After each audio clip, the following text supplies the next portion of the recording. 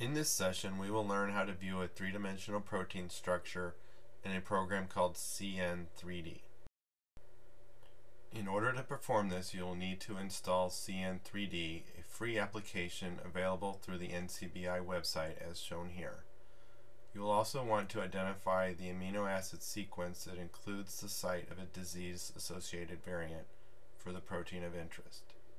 So for example in CFTR we're interested in position 508 in the protein and it's also important to look at the surrounding amino acids so in this case we see KENII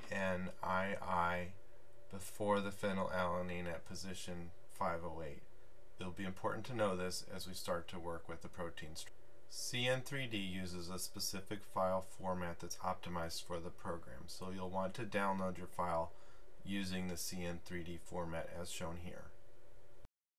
And now that we've downloaded the file, let's launch CN3D and open it.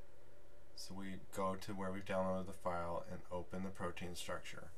You can see it displays the three-dimensional structure of the protein. Let's make our view a little bit bigger. And then below that it also displays the protein sequence. So let's do a little bit of work to improve our view.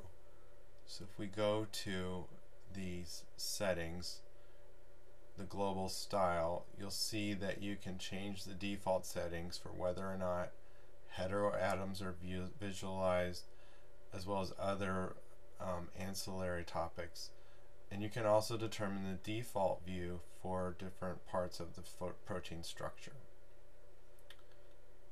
Your cursor rotates the protein around and then below that you can find the amino acid sequence. So let's scroll through that looking for the particular sequence that we just identified earlier, the KENIIF.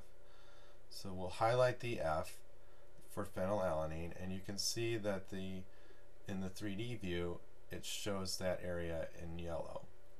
So let's experiment with our visualizations a little bit and change the current cartoon view to a surface fill view so we can see whether or not the phenylalanine at 508 is exposed to the surface of the protein. So we'll change the rendering and pick space fill. Doing so shows that indeed the phenylalanine at 508 is very likely to be exposed to the surface of the protein. So that's very informative as we think about the role of that particular amino acid in the protein function. We can experiment with other views, and for example, we might choose the tubes view, which is shown here, or we can return it back to the to that view, and again, we can rotate the molecule around in space. So CN3D is a very nice, you know, concise and very straightforward three-dimensional protein viewing application. It has a variety of other features that you're free to experiment with. In this session, we've learned how to use CN3D to view protein structures in three dimensions, as well as to determine whether or not a particular part of the protein is likely to be exposed to the surface.